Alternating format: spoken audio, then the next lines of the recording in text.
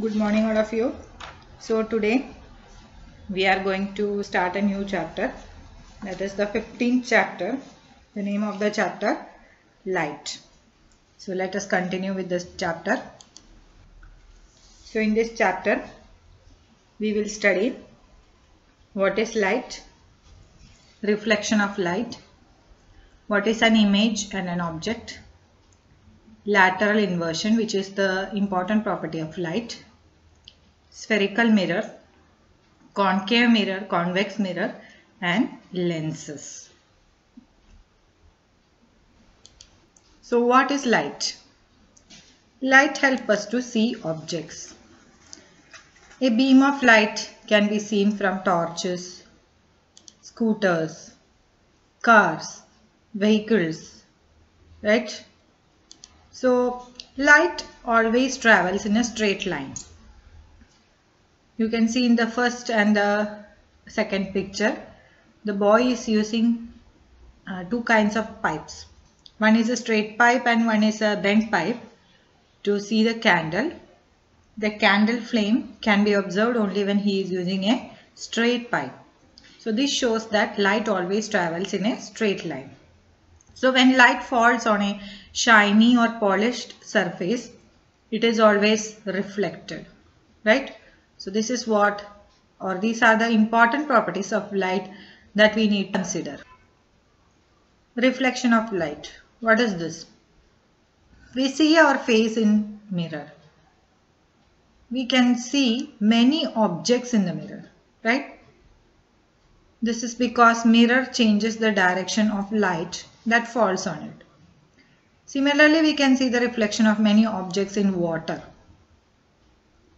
So the surface of water also acts as a mirror and it can change the path of light. This change of direction in the path of light is called as reflection of light. So what is reflection of light? The change of direction in the path of light is called as the reflection of light. Now, what is an image and an object? So, if you place a lighted candle in front of a mirror, a candle which appears behind the mirror is the image of the mirror. You can see in the picture, a candle is placed in front of the mirror. Similar thing you can see in the mirror, similar candle you can see in the mirror. This we call as, as the image. Whereas the candle itself we can call it as the object. Now what we do? If we move the object, we will find that the position of the image will also changes. So an image formed by the plane mirror is erect and of the same size of the object. Erect means you can see it straight, right? And it is of the same size of the object. The size does not change.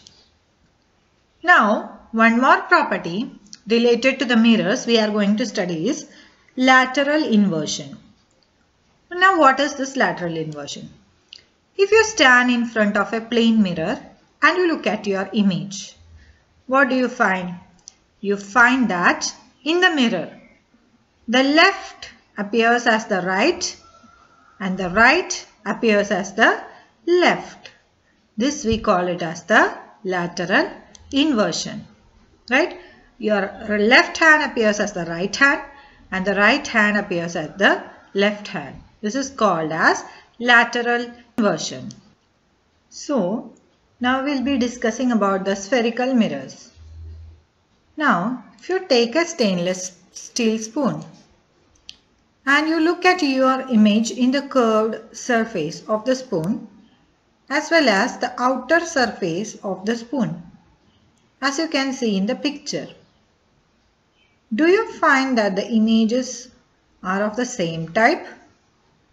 The curved shining surface of the spoon acts as a mirror. So spherical mirror is a curved mirror. Right? So usually the if you see the face okay from the inner side of the spoon and the outer side of the spoon you can see the differences in the picture itself.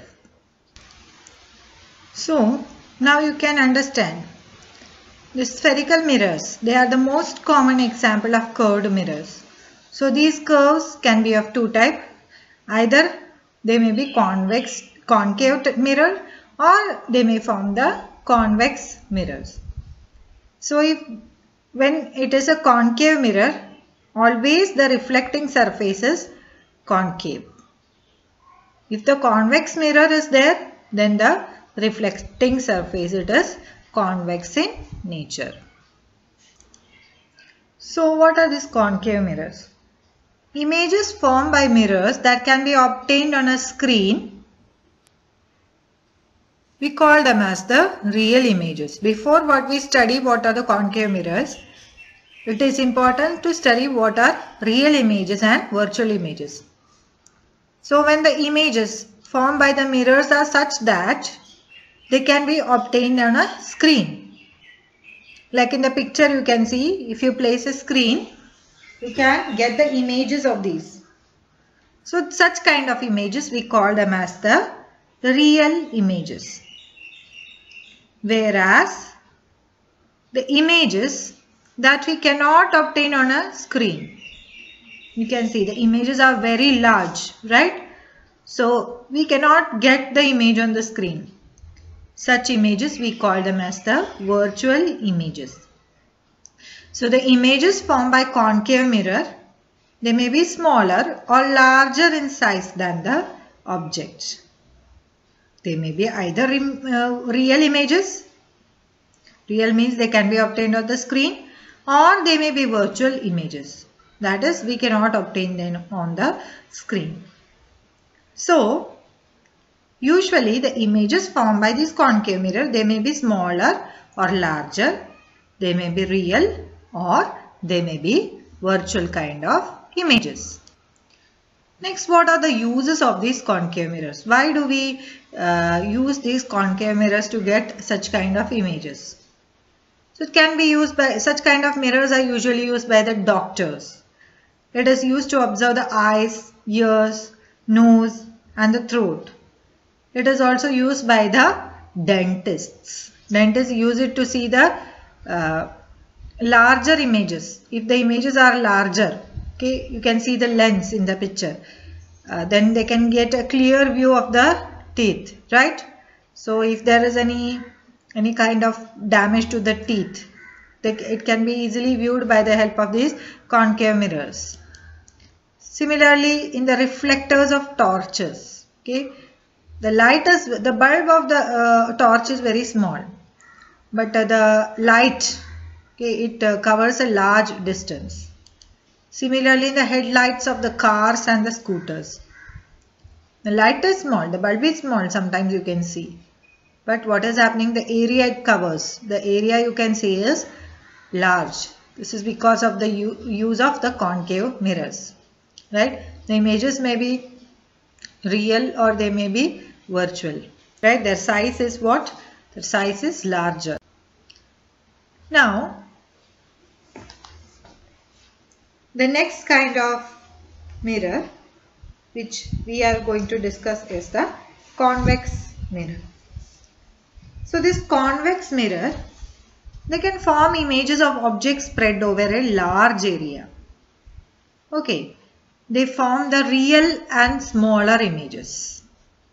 We find that in the concave mirrors the images are larger whereas here the images are smaller.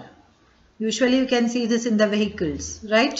When you are when uh, vehicles so you can see uh, the images is very smaller right?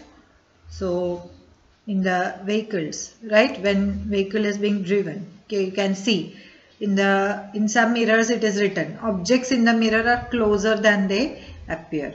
We can see if uh, the driver is driving the vehicle and four or five cars are coming behind he can see all the four or five car cars with the help of this uh, mirror right otherwise he has to always turn back and find out how many cars are coming from behind if the mirror is there, it is very easy. He can just see the mirror and find out the number of vehicles or the number of cars that are coming from behind. So similarly in shops also.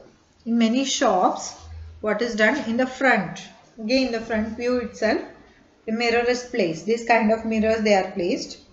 So uh, the person who is sitting uh, in the uh, counter okay he can observe a large number of area with the help of a small mirror itself right nowadays in security checkups and all this is used these kind of mirrors they are uh, usually used right?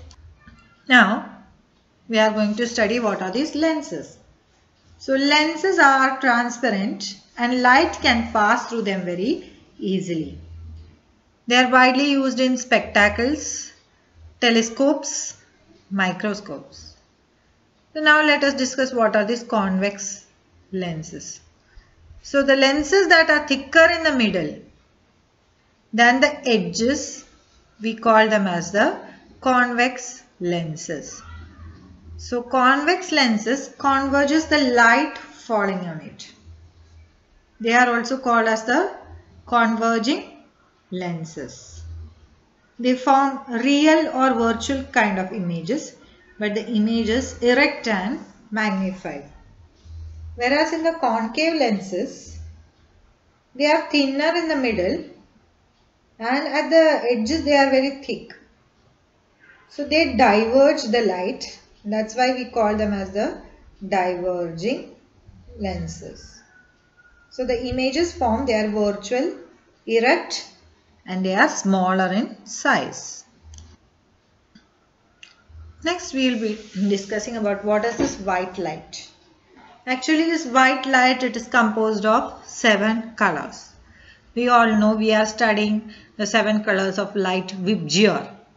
Okay, violet, indigo, blue, green, yellow, orange, red. Okay, all these we are studying in the lower classes itself. So this rainbow, if you have seen in the sky, it is composed of seven colors, right? You cannot clearly distinguish it, but yet the seven colors are there.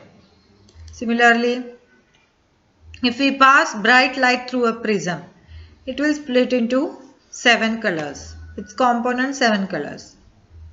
So if you try to name these colors, you can name it easily. So even if you take a CD, you can see that all the seven colors can be seen. And uh, in bubbles, we make bubbles and play with it, right? So that also sometimes uh, all these colors you can observe in them, right? So in the lab we use a disc, okay, called as the Newton's disc. So this disc has got all the seven colors, right? If you rotate this disc what you see is the white color so this shows that the white color it composed of components color component colors that is VIBGYOR right so thank you waiting for the online class. We'll further discuss this chapter in the online class. Thank you